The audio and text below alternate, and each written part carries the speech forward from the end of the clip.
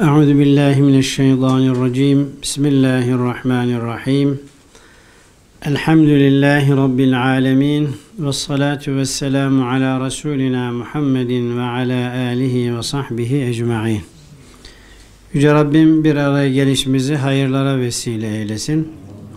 İmanımızın artmasına, takvamızın artmasına, ihlasımızın, samimiyetimizin artmasına, ahiret azığımızın ziyadeleşmesine vesile eylesin.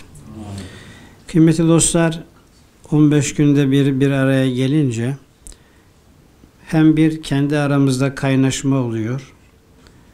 Göz göre göre insanların sevgisi, muhabbeti, ilgisi artar.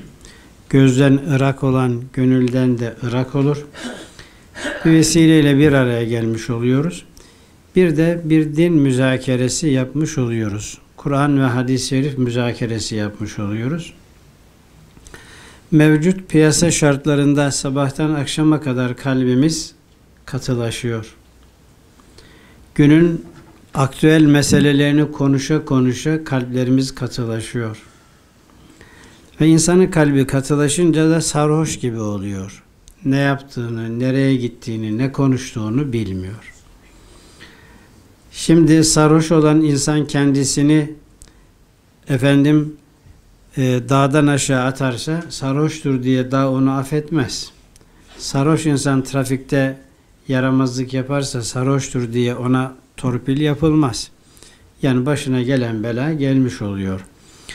Biz insanlar da dünyanın dünyanın ve bilhassa ülkemizin aktüel konular içerisinde, güncel konular içerisinde boğuştuğumuz zaman gerçekten bugünün insanını çok meşgul edecek, kalbini kirletecek, gerçekleri görmesine engel olacak iyi bir gaflet kabusu kalbinin üzerine yerleşmiş oluyor.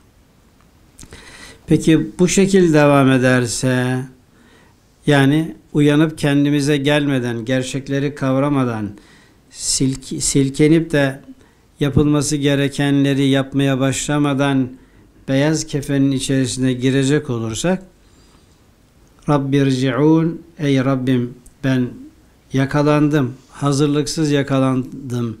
Beni geri çevirin ne olursunuz. Lealli a'melu salihan ben salih ameller yapmam gerekiyordu. Başka şeylerle uğraştım. Bunları yapamadım, ihmal ettim. Burada bana lazım olacakları yapmadım. Getiremeyeceklerimi geri, geride bırakacaklarımla uğraştım. Ömrümü burada tükettim. Yanlış yaptım, anladım. Bana bir fırsat daha beni geri çevirin. Lealli a'melu salihan ben salih amel yapacağım. Fîmâ terektu eksik bıraktığım işlerimi ibadet yönü, yönüyle, ahiret yönüyle eksik bıraktıklarımı evet tamı tamına yapacağım diye yalvaracağını bize Kur'an-ı Kerim'de Cenab-ı Hak haber veriyor. Yani bu söylediğim ayettir. Ne söyleyeceğini insanoğlu hazırlıksız gittiği zaman ne söyleyeceğini Rabbimiz en iyi bilendir. Bunu söyleyecek. İşte bunu söylememek için buradayken, hayattayken yap, e, işlemlerimizi, işlerimizi yapmamız mümkün iken, eksiklerimizi telafi etmemiz mümkün iken bunları anlamak lazım, kavramak lazım. Bu sohbetler de bu noktada kibrit-i ahmerdir. Yani gerçekten bizim yemeye, içmeye ihtiyacımız var, iş düzenimize ihtiyacımız var ama bunlar öyle veya böyle geçici şeylerdir, elden çıkacak olan şeylerdir gerçekten ebediyet yolculuğunda Sırat Köprüsü'nden karşıya bizi geçirecek olan asıl malzemeleri navlon derlerdi eskilerimiz. O navlonu ihmal etmemek lazımdır. Bugünkü dersimizde çoğunuzun kulağını tırmalamış olan bir konuyu e, yine bize çeki düzen vermesi açısından kendimizi bir check-up yapmamız açısından efendim bir hadisi şerifi paylaşmış olacağım. Peygamber Efendimiz sallallahu aleyhi ve sellemin bize tehlikeli olarak bildirdiği bir küfür var. Ki Yahudilik, Hristiyanlık ve putperestlik bu küfür şapkasının altındadır. Bir de e, nifak var, münafıklık var. Küfür elbette insanın ebedi cehennemde kalmasını sağlar. Cennet yüzü görmesi mümkün değildir.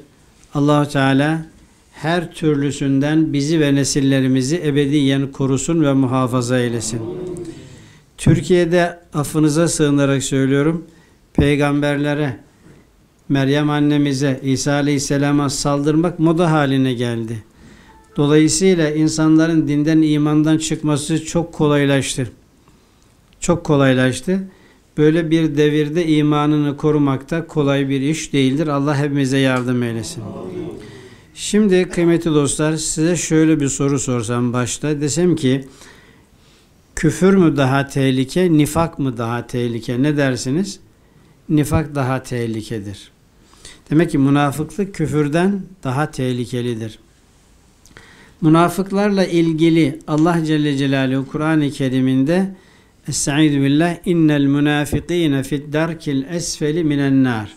Şüphesiz münafıklar cehennemin en alt tabakasında yanacaklar diyor. Şimdi münafıkların durumu çok kötü. Cehennemdeki manzaraları çok çirkin.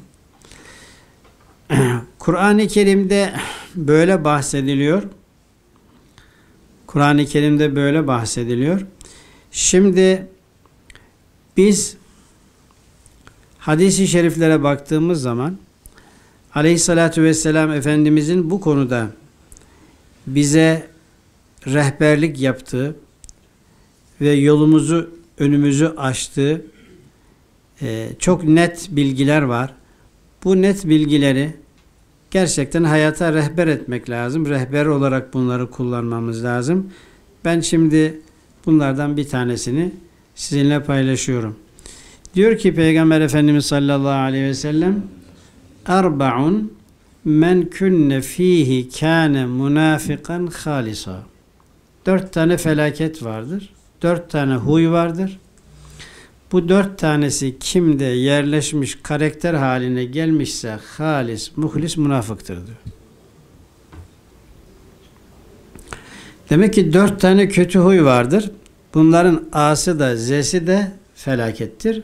Ama bir insana karakter haline gelirse dört tane huy halis kendi ifadesi. Halis münafık olur diyor aleyhissalatü vesselam Efendimiz.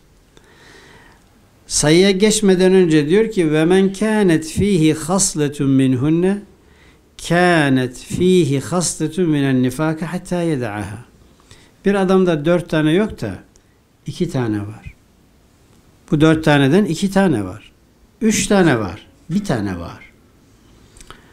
Bu kendisinde var olan hasleti terk edinceye kadar onda o münafıklığın çirkin yüzünün bir kısmı bulunmaktadır. Diyelim ki ikisi bulunuyorsa bu adamda münafıklığın yüzde ellisi var demektir. Eğer bir tanesi bulunuyorsa münafıklığın yüzde yirmi beşi duruyor bu insanda demektir. Hatta yeda'aha onu terk edinceye kadar. Yani eğer kendisine çeki düzen verir, yanlışını anlar, ben ne yapıyorum, bu gidiş nereye derse o zaman o münafıklıktan da kurtulmuş olur diyor aleyhissalatü vesselam Efendimiz. Peki nedir bu dört tane insanın karakterine yerleştiği halde insanı felaketlerden felaketlere sürükleyen nedir? Birincisi konuştuğu zaman yalan konuşur. Şimdi kıymetli dostlar, yalan insanın ağzından önce bir çıkar. Sonra bir daha çıkar. Sonra bir daha çıkar. Birincisi zor olur, çok zor olur. İkincisi biraz daha kolaylaşır. Üçüncüsü daha da kolaylaşır. Ondan sonra yalan söylemek çok normal hale gelir o insan için. Bir insan yalan söyler. Yalan söylemeye devam eder. Bu yalan söylemek karaktere dönüşür. O zaman Allah nezdinde bu insan kezzap olarak yazılır. Yani listede bu insan kezzaplar listesindedir. Kezzap bizim deterjanlı olarak işte tuvaletlerde, banyolarda kullanılan şey deniyor ama Arapçada kezzap dendiği zaman mübalağalı ismi faildir. Aşırı yalan söyleyen, yalan söylemek karakterine işlemiş olan insan demektir. Şimdi kıymetli dostlar, Aleyhissalatü vesselam Efendimiz bir defasında oturuyorlar. Müslümanın dikkat etmesi gerektiği haramları, günahları sayıyor. Ee, işte zina Müslüman yapmaz, hırsızlık yapmaz, şunu yapmaz. Ama ayağı kayıp da yaptığı da olabilir mi? Olsa imandan çıkmış olmaz. Ama bu günahlar Müslümandan uzak olması gereken günahlardır. Derken bunları sayıyor. En son yaslandığı yerden hemen bir dikiliyor. Dikildikten sonra yalan söylemek, yalan yere şahitlik yapmak. Yalan söylemek, yalan yere şahitlik yapmak. Bu cümleyi durmadan tekrarlıyor. Yani büyük günahları sayarken bu cümleyi durmadan tekrarlıyor.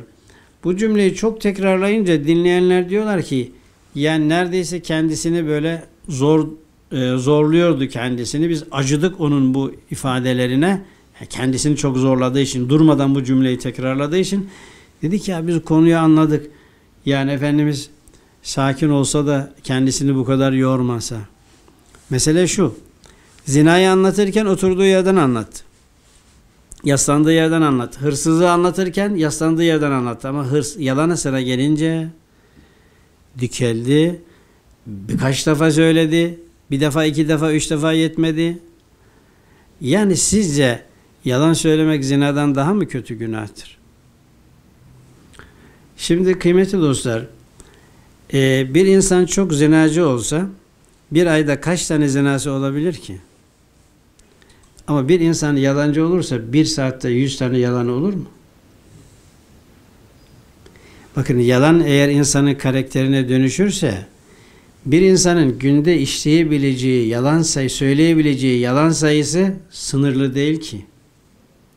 Çocuğuna yalan söyler, eşine yalan söyler, anasına yalan söyler, işçisine yalan söyler, patronuna yalan söyler, komşusuna yalan söyler, polise yalan söyler. Ona yalan söyler, buna yalan söyler. Bunun sınırı yok yani. Peki her birisi de yalan da büyük günah mıdır? Büyük günahtır. Peki bunlar üst üste geldiği zaman bir insanın yalan ile ulaşabileceği efendim günah seviyesi o kadar zina yapması mümkün değil ki gücü de yetmez. Öyle bir imkan pozisyonda bulamaz. Keza hırsızlık da öyledir. Yani bir insan her gün 5 tane 10 tane hırsızlık yapamaz ki. Ama bir saatte insan 10 tane rahat yalan yalan rahat rahat söyleyebilir. Onun için bir Müslüman yalanı alışmamalı. Yalana alıştıktan sonra haya perdesi yırtılır. Haya perdesi yırtılınca yalan söylemekten hiç rahatsızlık duymaz. Sen ben rahat, yala doğruyu nasıl rahat söylüyorsak o da yalanı o kadar rahat söyler. Bu bir karaktersizliktir, seviyesizlik ve seciyesizliktir. Cenab-ı Hak yalanın her nevisinden her birimizi ve nesillerimizi muhafaza eylesin. Yalan fucura götürür. Fucur da cehenneme götürür diyor hadis-i şerif. Yani yalan söylemek insanı Allah nezdinde facir, suçlu, mücrim bir kul haline getirir. Fucur da insanı cehenneme götürür. O zaman yalan yoluna giren insan bu yolda ilerledikçe ilerledikçe yaklaşıyor. Her tekerlek döndükçe yaklaşıyor ama cehenneme yaklaşıyor. Rabbim böyle bir durumla karşı karşıya kalmaktan ve yalancı durumuna düşmekten bizi ve nesillerimizi, bütün dost ve yaranlarımızı muhafaza eylesin. Demek ki dört tane büyük tehlikeden birisi yalandır. Yalan haddi zatında günah olarak zinadan, hırsızlıktan daha büyük günahtır diyemiyoruz. Ama insana maliyeti zinadan daha fazla, efendim içkiden daha fazla, kumardan daha fazla olabiliyor. Çünkü insanın karakterine yerleşince efendim e, kendisini perişan edecek kadar bir gün içerisinde söyledikleri yalan sadece bir günde söyleyecekleri yalan kendisini perişan edecek kadar olabilir. Peki ikincisi nedir? Dikkat edilmesi gereken, hayatımıza hiç sokmamamız gereken, çocuklarımızı da yetiştirirken bu ahlak üzere yetiştirmemiz gereken konu nedir? Ve izâ vaade ahlefe. Vaat ettiği zaman, söz verdiği zaman sözünde durmaz. Sözünde hulfeder. Şimdi kıymetli dostlar, e, çevremizde, dostlarımızda, yakınlarımızda sevmek istediğimiz halde adeta bizi kendisinden nefret ettiren insanlar olabiliyor mu? E bir defa söz veriyor, tut, tutmuyor, bir daha söz veriyor, tutmuyor, bir daha söz veriyor, tutmuyor. Artık yani itimadı kaybediyor. Sevmek istediğin halde sevemiyorsun. Mesela bir insan düşünün ki ibadetine çok düşkün olduğunu gördünüz. Başına sarığını sarmış, sırtına cübbesini giymiş. Böyle bir ibadet yapıyor ki imreniyorsun ibadetine. Ama bir ticareti olmuştur seninle. Şu tarihte ben bunun ödemesini yapacağım demiştir. O tarih geldi yok piyasada. Aradan bir ay geçti yok piyasada. İki ay geçti yok piyasada. Ya unuttu mu diye arıyorsunuz onu. Ya acele etme işte toparlanamadım diyor. Neyse onu affediyorsunuz. Aradan zaman geçiyor. Geliyor bir daha sizden borç istiyor mesela. Siz de haline bakarak bu adam evliya adamdır diyorsun. Bir yanlışlık oldu diyorsun. Bir daha veriyorsunuz. Efendim günü geliyor yok piyasada. Aradan bir hafta geçiyor yok piyasada. İki hafta geçiyor yok piyasada. Siz arıyorsunuz. Nazu Niyaz yapıyor. Şimdi soruyorum size. Bu adam kendisini kendisine güvenen bu insanlardan nefret eder hale mi? Düşürdü mü düşürmedi mi? Sadece kendisini nefret eder hale düşürse bu gene idare edilir. Ondan sonra sana aynı kıyafette bir başkası gelse, ibadetine düşkün bir başkası gelse, seninle bir muamele yapacak olsa bir dakika acaba bu da mı o sahtekarlardandır diye gerçekten güvenilir insanlara artık güvenmez hale getirmiş oluyor. Dolayısıyla sözünde durmayan insan sadece bir sözünde durmamakla karşıki tarafa bir e, hata etmiş değil, belki o insanın kendisi gibi güvenebileceği birçok insana güvensiz bir şekilde bakmasına sebep olacak. Güvenilir insanlara bile nereden bilecekse anla yazmıyor ki güvenilir olup olmadığını. O zaman şuna dikkat etmek lazım kıymetli dostlar. Söz vermeden önce birkaç defa düşünmek lazım. Acaba ben bunu vaktinde, saatinde, söylediğim vakitte yerine getirebilecek miyim, getiremeyecek miyim? Eğer yüzde elli getiremeyeceksem yok. Bu sözü vermemeliyim.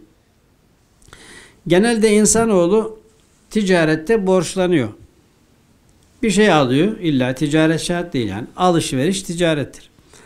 Borçlanıyor. Gücünün fevkinde bir borca giriyor. Ödeme vakti yaklaşıyor. Bakıyor ki ödeme çek karşılıksız çıkarsa yazılacak, mazılacak. E ne yapayım? Kime gideyim? Falana gideyim, fişmana gideyim. Dost bildiği, dost bildiği ve kendine göre dost olduğuna inandığı insana gidiyor. Diyor ki ona ben sana diyor ay başında vermek üzere bana 200 bin lira para ver diyor. Bakıyorsun ki ay başına var 15 gün. E 15 gün 200 bin lira kenarda bekleyen 200 bin liram var ama bana bir ay sonra lazımdır misal. E bu adama vereyim onun da işi görürsün diyorsun. Ama adam bu 200 bin lirayı alırken ay başında bunu nasıl ödeyeceğinin hesabını yapmıyor. Neyi düşünüyor? Hele o gün gelsin de bir bakarız diyor. Günler çok çabuk geçiyor. Aybaşı geliyor, elde avuçta hiçbir şey yok. E ne oldu şimdi? Söz verdik durmadı. Bunların biraz namuslusu arıyor birkaç gün önceden. Diyor ki bir aksaklık oldu. Biraz e, ge, gecikecek haberin olsun. Fakat o da kalmadı şimdi. Sen arıyorsun o aramıyor ki. Ya gün geçti aramadın bir ödeme vardı nerede falan diye. Şimdi işte burada ne olmuş oluyor kıymetli dostlar? Ben ay başında ödeyeceğim dedim söz verdim. Bana da güvendiniz. Aybaşı geldi ödemedim. Şimdi sizin sadece bana değil, benim gibi gördüğünüz, güvendiğiniz insanların tamamına karşı kalbinizde bir sıkıntı meydana gelir. Yarın benim gibi bir başkası gelse geç ya. Bunlar aldığını vermezler. En azından zamanında vermezler diye bir itimatsızlık meydana gelir. Bir Müslümanın Müslümana itimat etmemesi ciddi bir felaket değil midir? Müslüman Müslümana güvenmeyecek de kime güvenecek? Dolayısıyla münafığın dört tane hasleti vardır. Bu dört tanesi kimde karakter haline dönüştüyse o halis, muhlis münafıktır. Dört tane değil de iki tane varsa yüzde elli. Bir tane varsa yüzde yirmi beş münafıklık var onda. O pis huydan kurtuluncaya kadar o nifak onda vardır. Birincisi konuştuğu zaman yalan konuşur. Yalan konuşmak karakterine dönüşmüştür. İkincisi vaat ettiği zaman vaadine hulfeder. Üçüncüsü ve izâ khâsame fecere. Yani insanlar birbirleriyle tartışacağı manzaralar olmaz mı? Ortak ortağıyla bile tartışabilir. Kardeş kardeşle de tartışabilir. Sokakta bir insan bir başka insanla da tartışabilir. Hep yüzde yüz her meselede mutabık muna, e, muvafık kalacağız diye bir şey yok. Ama bir insanla tartışmaya başladığın zaman bir başka ifadeyle kavgaya girdiğin zaman ağzının ölçüsü olmayacak mı? Elinin ölçüsü olmayacak mı? Dilinin ölçüsü olmayacak mı? Bir başka ifadeyle söyleyeyim. Bir Müslümanın kavgası ile bir gavurun kavgası aynı olabilir mi? Sen Müslüman olarak, ben Müslüman olarak şu iki dudağımın arasından çıkan her sözün mutlaka karşıki tarafı etkilediği gibi kiramen katibini de etkilediğini bilmemiz lazım. Biz bunu görmezlikten gelemeyiz ki. Ma yelfizu min kavlin illa ledeyhi rakibun atid. İnsanoğlu iki dudağı arasından çıkardığı her kelimeyi, her cümleyi yazan yanında melek vardır buyuruyor Allah Celle Celaluhu. Öyleyse bir insanla tartışmaya gittiğin zaman affınıza sığınarak söylüyorum. Anasına, avradına küfretme hakkın var mı? Yoktur. Peki ben çok sinirlendim anasına avradına küfrettim. Böyle bir hakkın yok ki. Bu nedir? Kavgada kavgayı haksız bir zulüm boyutuna taşımaktır. Müminin karakteri buna izin vermez. Diyelim ki daha önce konuştuğumuz şeydi ama tekrarlayayım onu. Şimdi bir adam bize haksız yere bir tokat vursa bizim ona iki tokat vurma hakkımız var mı? Yok. Yani bize haksız yere bir tokat vurana biz de bir tokat vurma hakkına sahibiz. Ama Erdal kardeşimiz gibi Karadeniz'de olursan bir, tok, bir tekme vurursun, bir tokat da vurursun, bir de kafa atarsın. Va normal attığı ama haksız attığı için de kullanılır Erdal abi mermi sıkıyor. Yani şimdi Karadeniz meşrebli olursa değil mi hani? Şimdi bizim Vatan Camisi'nde bir Ramazan iftar yaklaşmıştı. Bir adamın birisinde alacağı varmış. Başka mahalleden birisinin bizim mahallede oturduğumuz mahalledeki birisinden alacağı vardı. Adam sürtüyormuş, vermiyormuş. İftara yakın adam geldi. Biraz da yaşlı birisiydi gelen adam. Şimdi o fırının önünde mücadele yapıyorlar. Biz de caminin oradan hani iftar vaktini bekliyoruz da e, bakıyoruz ne oluyor ne olmayacak falan. Şimdi onlar biraz konuşmada tartışmayı yükselttiler, sesleri yükselttiler. Bu sefer birbirine vurmaya başladılar. Kavga yapmaya başladılar. Şimdi bizim cemaatten birisi de gitti onları ayırmaya. Onları ayırmaya gideni de öbür adam öbür mahalleden geldiği için bu mahalledekileri tanımıyor. Zannetti ki bu kavgaya girişte adamın tarafıdır. Ona da girişti tekme tokat. Şimdi orası bir savaş alanına döndü. Diyeceğim şu. Ve cezâ'u seyyiyetin seyyiyetun mitluha. Kur'an ifadesi. Sana birisi bir kötülük yaparsa onun cezası aynı ölçüde bir kötülüktür. Aynı ölçüde. Femen afa affedersen ve aslaha arayı da düzeltirsen fe ecruhu alallah. O zaman gel benim mükafatını benden al diyor Allah.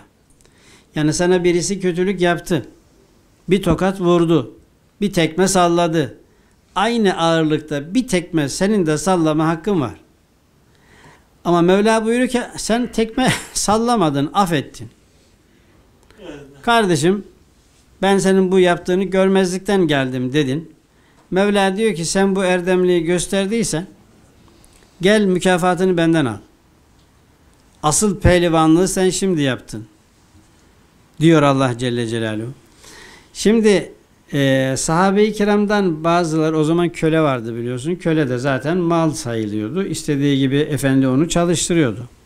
Yaramazlık yaptığı zaman da dövüyordu falan.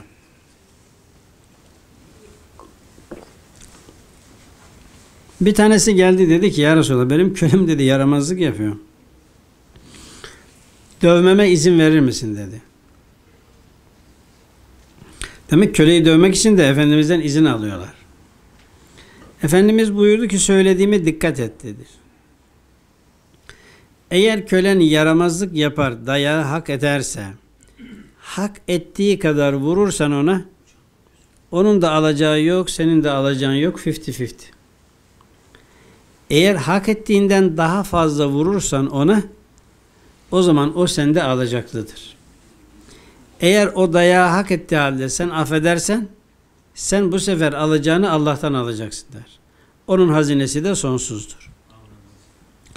Şimdi Kur'an bize bunu öğretiyor kıymetli dostlar. Dediğim gibi hani biz Karadeniz meşrepliyiz. Mısır ekmeğini fazla yiyince bu ölçüler bizi zor idare ediyor. Daha doğrusu biz kendimizi bu ölçülere uydurmakta zorlanıyoruz. Allah hepimize yardım eylesin. Bir de arkadaşlar ve izâ âhede gadara sözleşme imzalıyor. Şöyle olacak diye. O sözleşme imzalayıp adını yazdığı, soyadını yazdığı, altına imza attığı bu namus demektir. Ben bunu taahhüt ediyorum demektir. Sözleşmelerine de akitlerdeki, şartnamelerdeki sözleşmelerine de sadık kalmaz. Sadece işi e, koruyabilmek için, işi idare edebilmek için, günü koruya, kurtarabilmek için sözleşmenin altına imza atıyor. Kısacası arkadaşlar e, aleyhissalatü vesselam Efendimiz dört tane kötü huy vardır diyor.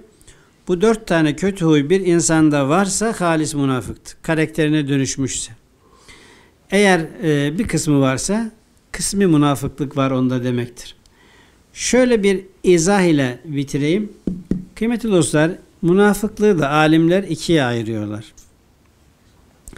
Bir insanı ebedi cehennemde bırakan, dış görünüşüyle mümin gibi gözüküyor ama iç aleminde küfür kaynıyor ve e, bu dış görünüşüyle insanlardan istifade ediyor, sömürüyor insanları, menfaat temin ediyor. Bu insan gerçekten ebedi cehennemin en alt tabakasındadır. Bir de nifaka ameli var. Yani inancında küfrü gerektirecek bir şey yok. Ama karakterinde yalancılık var. Sözünde durmamak var. Birisiyle kavga yaptığı zaman küfür, tekme, tokat ölçüsüz bir şekilde hele hele bir de adama gücü yetiyorsa var ya o zaman ölçü tanımak yok. Bir de yapılan sözleşmeler bunlara imza attığı şahitler huzurunda efendim kabullendiği sözleşmelere sadık kalmaz. Başından sonuna kadar baktığımız zaman bir dürüstlük abidesidir dinimiz. Bize bunların ne kadar tehlikeli olduğunu, en tehlikeli şey olan nifakın alametleridir bunlar. Ve dolayısıyla bir insan yalan söylemek karakterine dönüşür ve bunu helal addetmeye kalkarsa, diğer haramların e, diğerlerinde her birisini efendim e, karakterine dönüşür, haram olduğu halde helal addetmeye kalkarsa zaten imanda da sıkıntı meydana gelmeye başlar. E, kıymetli dostlar, bizde iman şartları var, bir de piyasada piyasa şartları var. Aman ben size yalvarıyorum, piyasa şartlarına iman şartlarınızı değiştirmeyin. Piyasa şartları değişir, iman şartları değişmez. Ezilmeye razı olun ama imanımızdan taviz vermeyelim. Dürüstlüğümüzden taviz vermeyelim. Bu tehlikeli tutum ve davranışlardan kendimizi, çoluğumuzu, çocuğumuzu ateşten kaçar gibi kaçıralım. Pislikten nefret eder gibi bunlardan nefret edelim. Zira burada dün geçti, gitti. Bugün de geçti, gitti. Bunu geri getiremeyiz ama bugünün hesabı bizimle beraber gelecek. Dünün hesabı bizimle beraber gelecek. Böylesine yanlışlara alıştığımız takdirde hesabını veremeyeceğimiz kadar yükleri sırtımıza almış oluruz. Peygamber Efendimiz sallallahu aleyhi ve sellemin Ebu Zer Hazretlerine ve haffifil himle fe innel akabete sa'bun şedid buyurmuşlardı. Bir takım nasihatlerde bulundu da bulunduğu nasihatlerden birisi de şuydu. Ey Ebu Zer sırtındaki yükü hafiflet. Çünkü çok sarp yokuşlardan aşacaksın. Sırtındaki ağır yüklerle o sarp yokuşları aşamazsın dedi. Neyi kastetti kıymetli dostlar? İnsanın her günahı sırtında bir yüktür. Sırtındaki yükleri hafiflet, günahlarını sil, tevbe et, yapma fazla günah. Çünkü bu günahlar senin sırtında yük olacak. E peki sırat köprüsünden nasıl geç, geçeceksin? Mizandan nasıl geçeceksin? Amel defterinin dağıtılmasında nasıl geçeceksin? Mahşer meydanında o güneşin yaklaştığı insanları ter gölleri içerisine bıraktığı zaman sen ne yapacaksın? Kendini nasıl koruyacaksın? Onun için diyor ki ve haffifil himle fe innel akabete sa'bun şedid. Sarp yokuş vardır diyor. Yüce Rabbim cennete doğru koşanlardan eylesin. Bize zarar verecek, imanımıza zarar verecek, hesabımızı zorlaştıracak her türlü yanlışlardan Rabbim bizi de, bütün mütevellideki dostlarımızı da, bütün aile bireylerimizi de muhafaza eylesin. Eskilerimizin şöyle duası vardı vaazlara başlarken. Ya Rabbi bizleri hakkı hak bilip ona uyanlardan, batılı batıl bilip onlardan sakınanlardan eylesin. Bu dua ile beraber bitiriyorum. Mütevellideki dostlarımızdan, kardeşlerimizden, aile bireylerimizden hasta olanlar var, hastası olanlar var. Rabbim acil şifalar ihsan eylesin. Entübide olanlar var, yoğun bakımda olanlar var. Efendim e, prostat vesaire sıkıntısı olanlar var. Şu, kısacası dua bekleyen hastalarımız var. Rabbim her birisine acil şifalar ihsan eylesin. Rabbim bize de sağlığımızın, sıhhatimizin kıymetini bilebilmeyi, şükrünü eda edebilmeyi nasip eylesin. Kıymetli dostlar, e, arkadaşlarla daha önce arkadaşlarımızın yaptıkları çalışmalarda bizim buradaki öğrencilerimizin bursları ile ilgili bir çalışma yapılmıştı. O çalışmada bazı öğrencilerimiz fakir olduklarından dolayı kendileri adına ödemeleri gerekenin sadece bir kısmını veya hiçbir birisini ödeyemiyor. Ee, durumu iyi olan kardeşlerimiz zekatından mahsuben de olsa bir tane öğrenciyi veya iki tane öğrenciyi durumuna göre öğrenciyi üstlenmiş oluyor. Veya alıyor, arkadaşına götürüyor. iki tane, üç tane arkadaşına götürüyor. Böylece Kur'an hizmetine bir destek vermiş oluyor. Çıkışta Erdoğan kardeşimiz elindeki dosyalarda bu bursla ilgili çalışmaları vardır. Geçerken bakarsanız yani nazar nuskası gibi faydalı faydalıdır onlar. Etkisi çok olur. Rabbim her birinizin, her birimizin kazançlarına bereket versin. Bu hizmetlerin devamını, tamamını, kemalini nasip eylesin. Aleyhissalatü vesselam Efendimizin mübarek ruhi için, bütün geçmişlerimizin ervahı için, bu müesseselerin yapılmasında ve devamında emeği geçip ahirete göçmüş olan ashab-ı hayratın ruhları için, mütevellideki dostlarımızın her birisinin bütün geçmişlerin ruhları için Allah rızası için El Fatiha.